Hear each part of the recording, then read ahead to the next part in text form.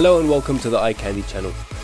In this episode we're going to be showing how to use the gradient wipe transition to really create an effect of two situations blending in together. This has been called the Luma Fade effect, but the way I'm going to be using it is a little bit more like uh, Sherlock Holmes transitions.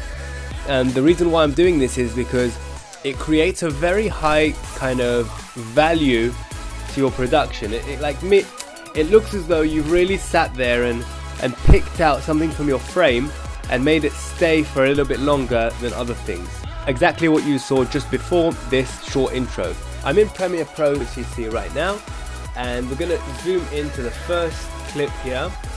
In this short clip here you've got the groom walking and of course when the time to transition comes what we're doing here is we're using this transition to transition to wipe out all of the lighter parts of the video and keeping only the really dark parts of the frame. Now in this case, the dark part of the frame happens to be our bride wearing all black.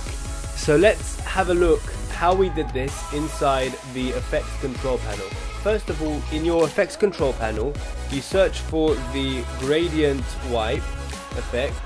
Now just be careful because there are two of them one of them is a wipe transition. That's not the one we want for this specific case. The one we want is the transition under video effects and it's called gradient wipe.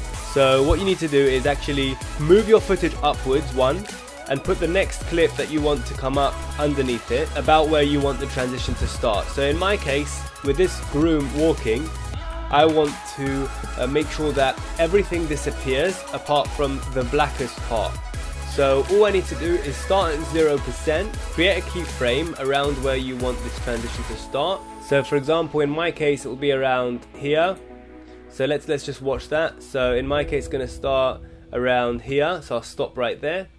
At this point, I'm going to create a new keyframe. I'm going to uh, go about about 40 or 50 frames forward, and then I'm going to select a keyframe, and then I'm going to check to see how many how much percent I have to use in order to remove everything but the groom. And that comes to about let's say 65 and there and now we have the groom literally just standing there with a little bit of bushes which is also okay. And so then we want it to stay like that until the end until the point where we want him to disappear which is here. And we're going to move we're going to create another keyframe there and then move two or three frames forward in which time we want him to disappear completely, which goes to 100%. So let's have a look how this looks. So we've got him walking, he stays, and then the bird flies, and then we have it all happening. Let's say uh, we wanted the opposite effect.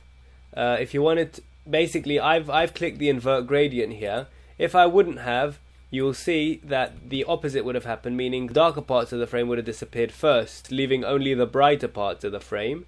But that's not the effect I wanted. I really wanted the uh, dark parts of the frame to stay. So definitely play around with this invert gradient to see which effect works better for your transition. And I did a few other little experiments with this to see, and it really is a pleasure to watch this kind of uh, footage where things are really happening seamlessly and uh, it's quite pleasurable to see things appear in a, in a way where they're like just randomly appearing and they're just surprising you. It gives you a really good feeling.